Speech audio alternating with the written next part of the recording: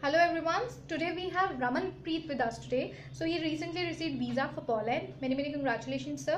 Thank you. So would you like to share your views with us?